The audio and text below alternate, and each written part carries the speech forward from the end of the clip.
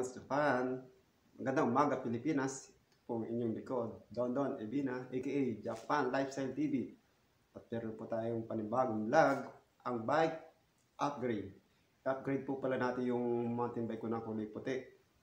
Kasi masyado kasi malaking gulong, hindi na po tayo mahilig mag-trail. Saka may bike tour lang po tayo, lagi namamasyal, city. Kaya papalitan po natin siya ng mas maliit.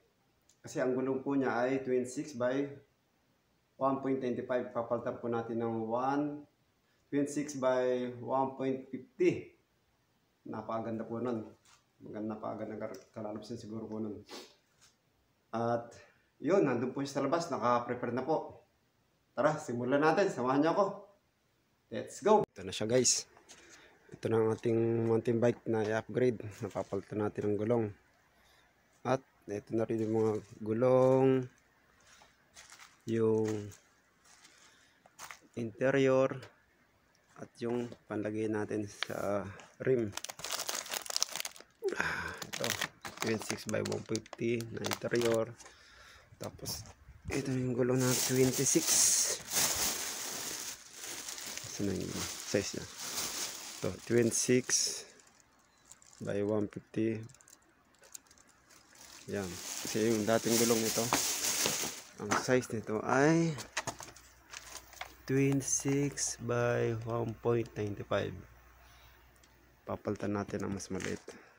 Kasi ito, kung trail kasi yung gulong nito, masyadong makunat itakbo pagka ginagamit sa skidi. Sana magandang maganda ang maging kalabasan nito. So tara, let's start.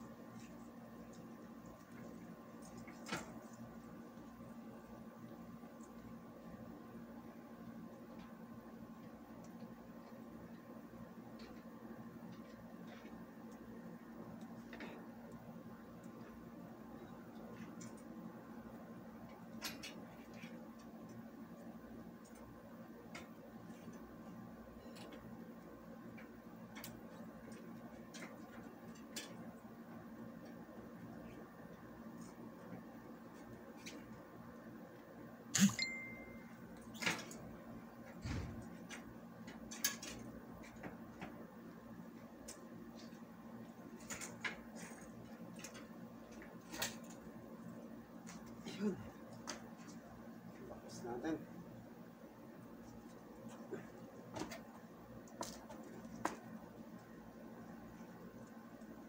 Sa Medyo luma na rin po kasi to.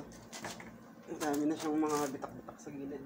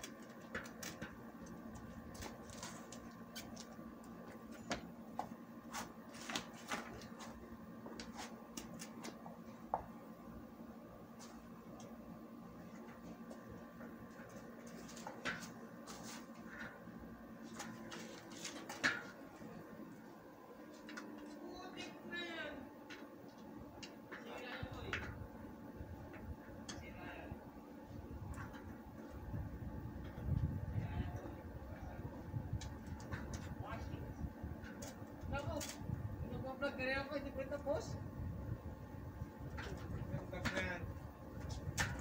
O pala, meron tayong bisita. Isa rin magaling na vlogger. Si Tony Scream.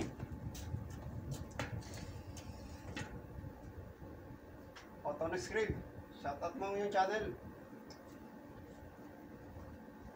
Po pala kaibigan ko si Tony Scream. Kasama ko rin sa trabaho. Ba't tinanggal yan?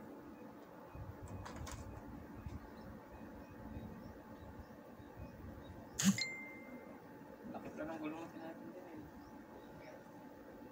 Pareha lang. Ha? Parang pareha lang. 1.25 ba? Ito 1.50. Laki pa din. Ano? Pang gravid. Sakto lang yan.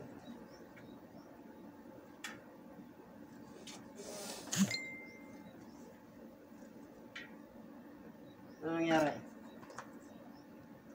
Ayan. Ano Ha? nangyari? Nangyari sa ano mo? Okay na?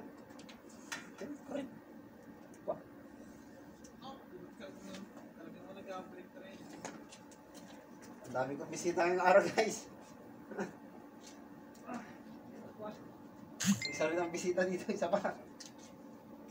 Hello. What's up, manigang? Ba't hindi manifest? Na, pag masyado mo na guys, tama lang yung 1.50. Gumbat eh.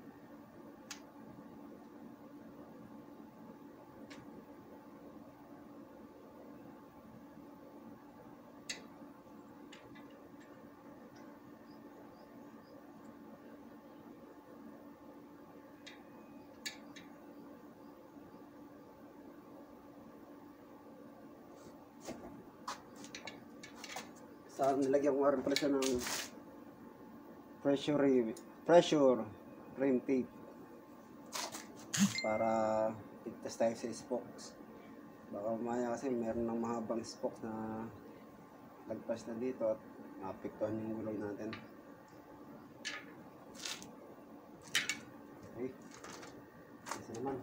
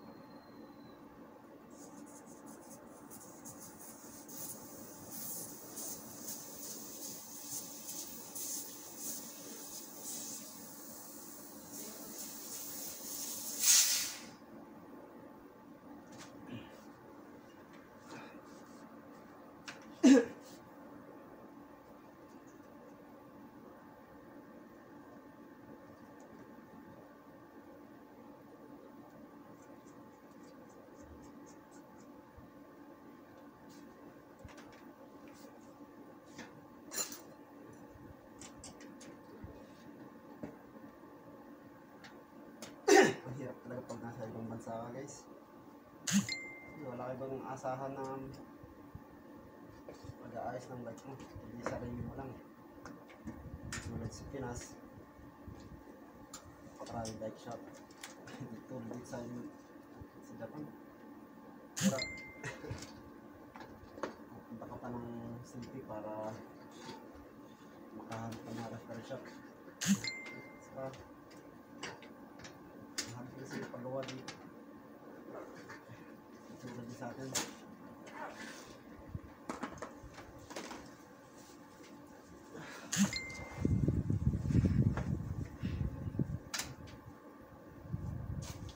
Okay, balik ko isa.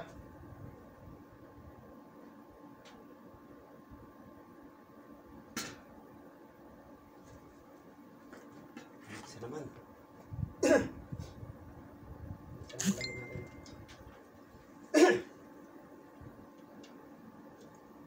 Sasiguraduhin nyo kasi pag, at pag maglalagay ng pressure tape, kailangan tapat dito sa butas din. Yan nakita nyo ba yung butas? Para pagpasok natin yung interior mamaya, swak na swak. Walang problema.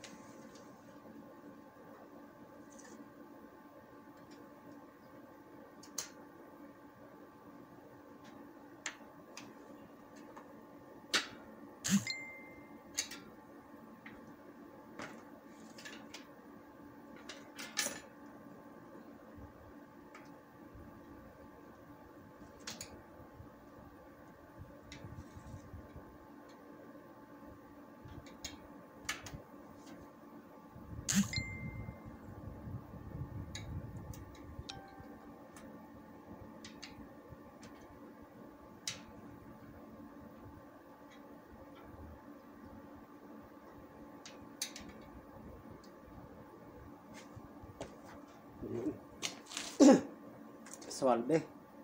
Swalbe ni tak to. Napakaganda nitong pressure ring, pressure ring tape.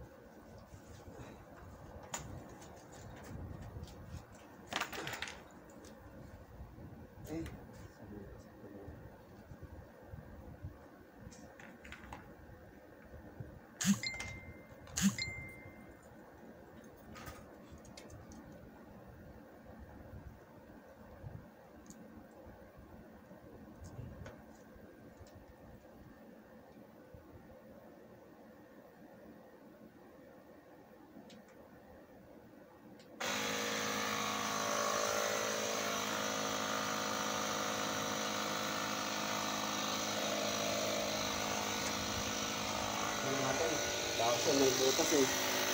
Hindi na magagkit natin muna baka mabutas. Maganda na yung sigurado na bago natin tagay.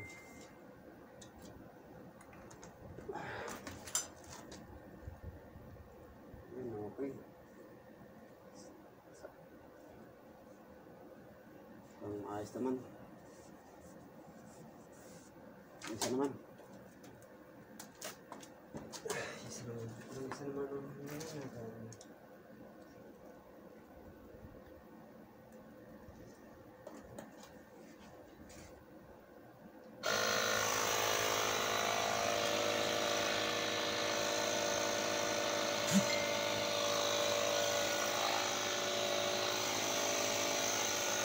Napakaganda talaga ito.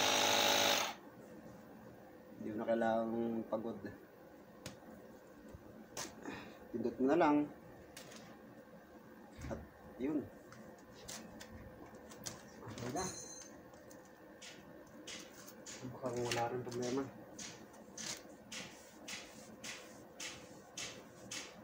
So tara. Pawasin natin hangin. At simulan natin.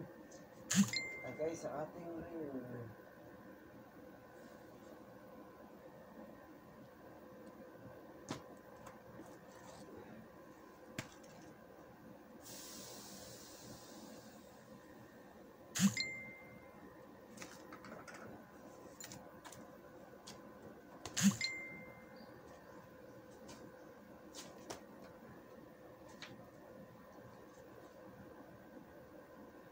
T-shirt.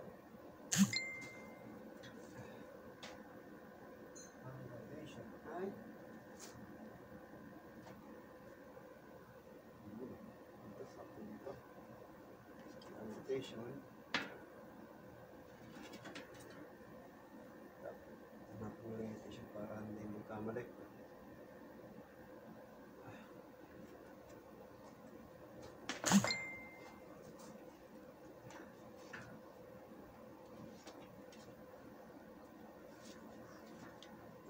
Yan, magbago pa.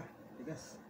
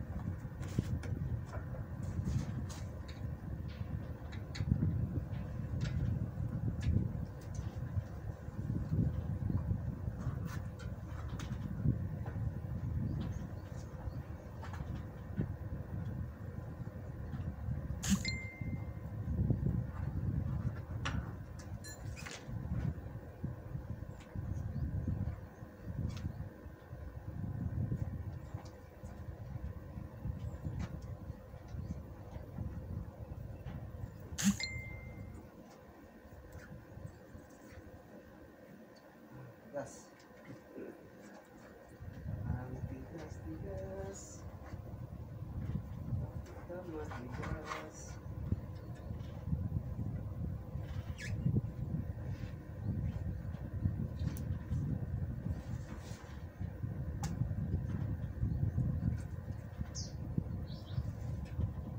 Yan talaga sa una matigas. Yan talaga pag virgin. Tigas sa una, makunat sa una. Kapag may pasok na,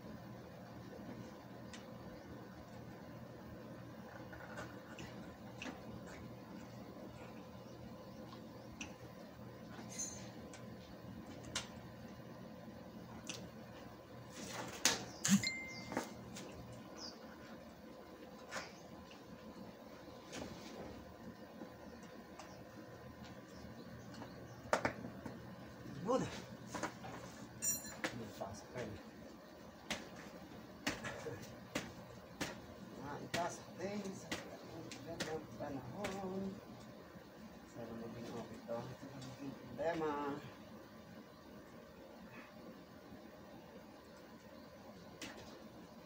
Isa, okay na. Isa naman. Mamaya, hanginan naman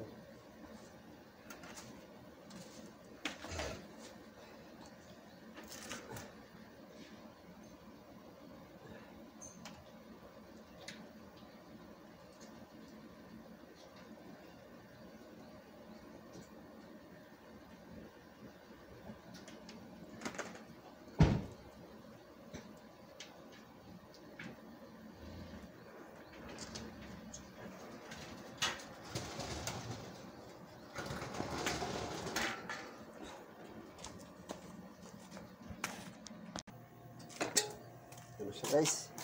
Para sa natin siyang naikabit. Kaya hanginan natin. Hanginan naman natin. Para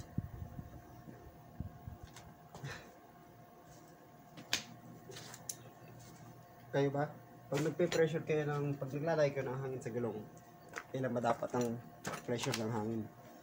Kasi pag sa mountain bike, sa pagkakalam ko, ah, sabi ng mga eksperto, 60 to 80. Kaya, iseset natin ng 60. Siguro mga 60. Ito, 60. 60. Ito nyo guys? 60.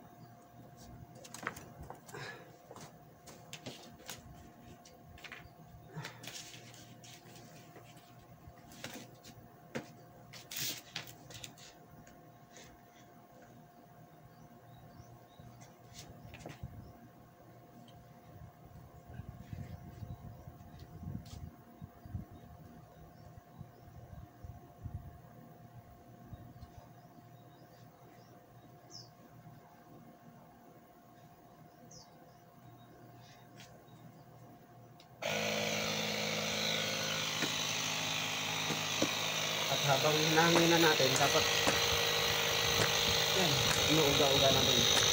Na ng konti. Para mabalance yung goma sa loob.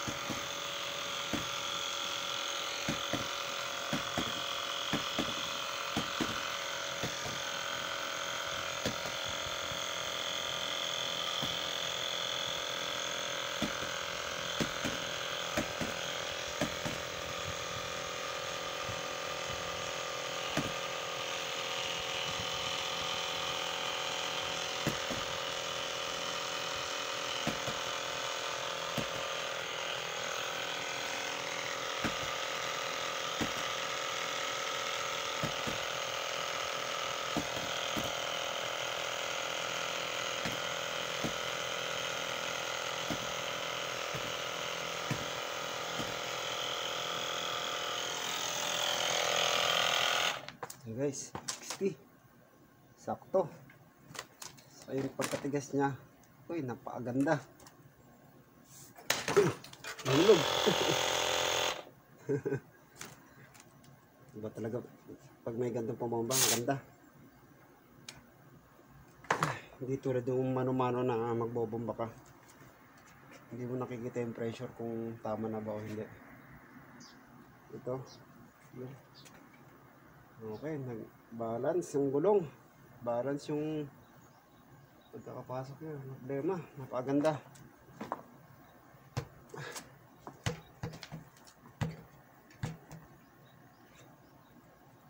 Diba? Okay.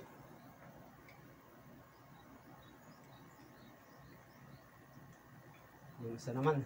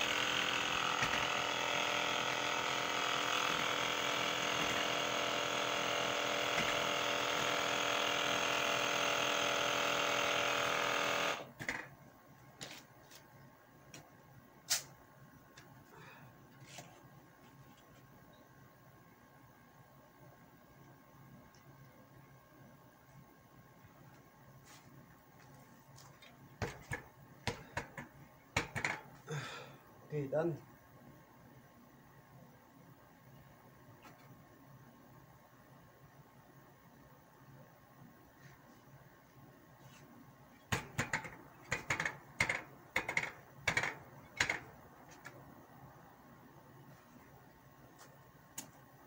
Dahil dyan, ito naman na baklas natin. Lagyan na rin natin ng dross sa loob. Sprayhan na rin natin. Ah, kuha na ako ng pang grasa. Wait lang ha. Okay guys, ito na, nakuha ko na. Dalawa pala ang ginagamit kong pang spray sa bisikleta ko. Isang grease spray. Isang grease spray. Nakikita nyo ba? At isang anti-rust anti-rust lubricant spray. Ang gagamitin natin ngayon ay yung grease spray. Kasi sa loob natin siya gagamitin. Naman sa labas.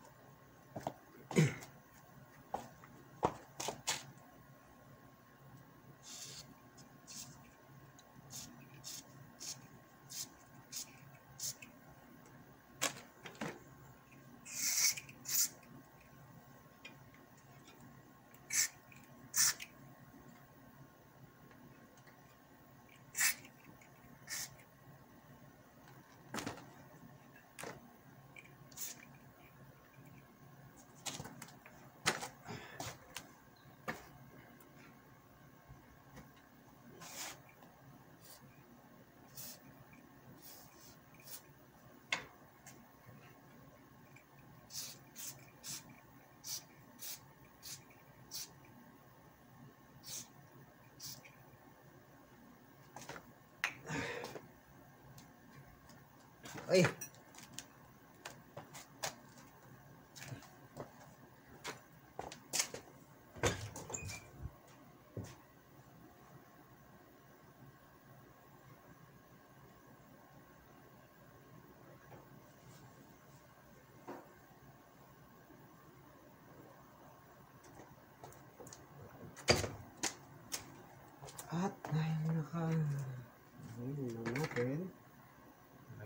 Grasa. Punasan naman natin itong disc brake. Punasan naman natin itong disc brake.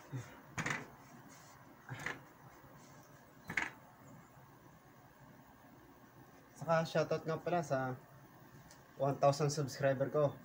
Maraming maraming salamat sa inyong suporta. Shoutout sa inyong lahat. Maraming maraming salamat.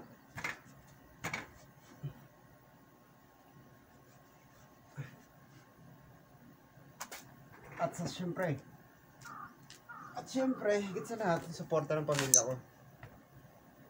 Sa aking mga anak, sa aking asawa. Maraming salamat.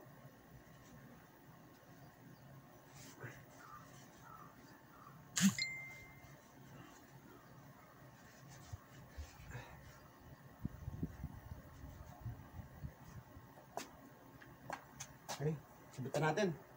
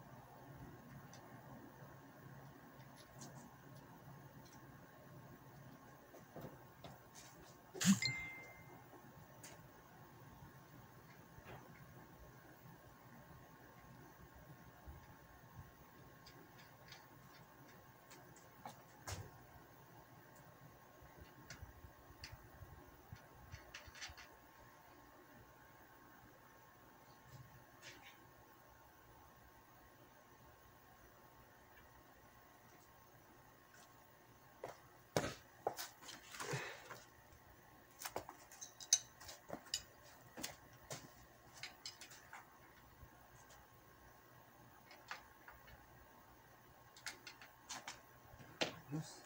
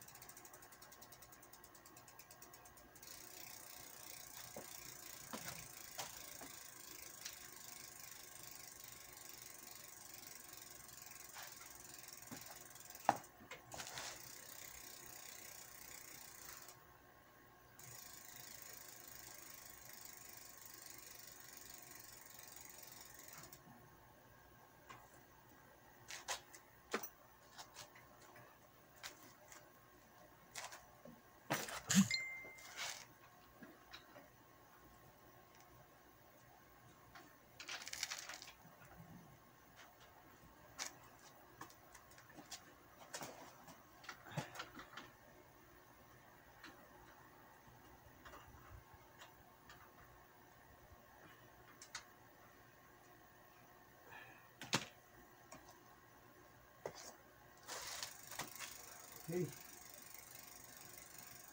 Ayos.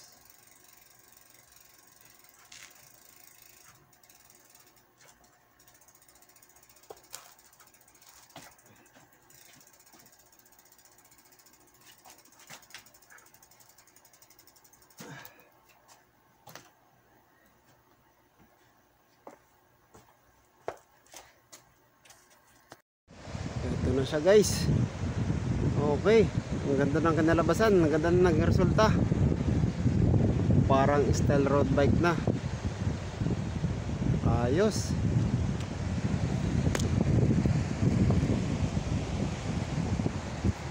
Test drive din natin siya. Sakto at magandang panahon. Oh, kita nyo ba ang paligid? Napakaganda.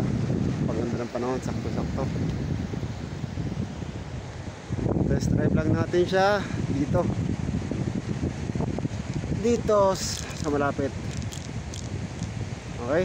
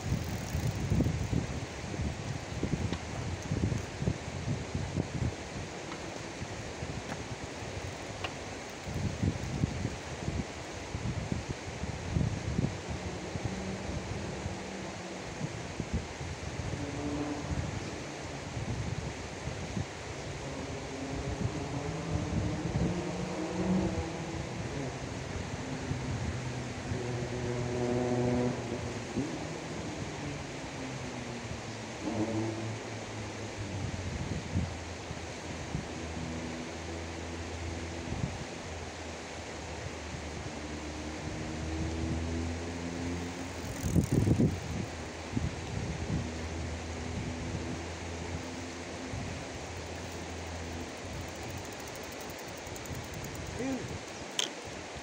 So guys, napakaganda ng resulta.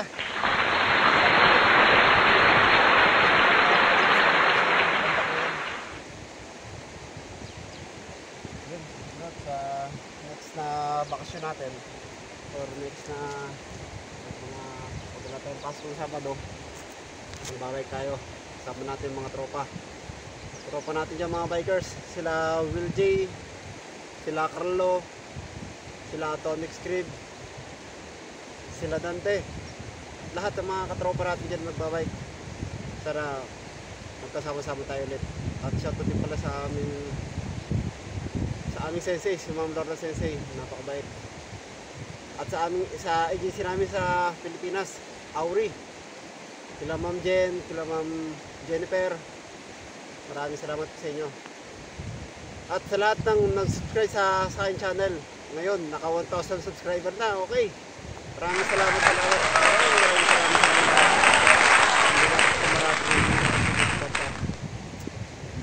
Okay, hanggang dito lang. Maraming salamat. Mata na eh. Bye-bye.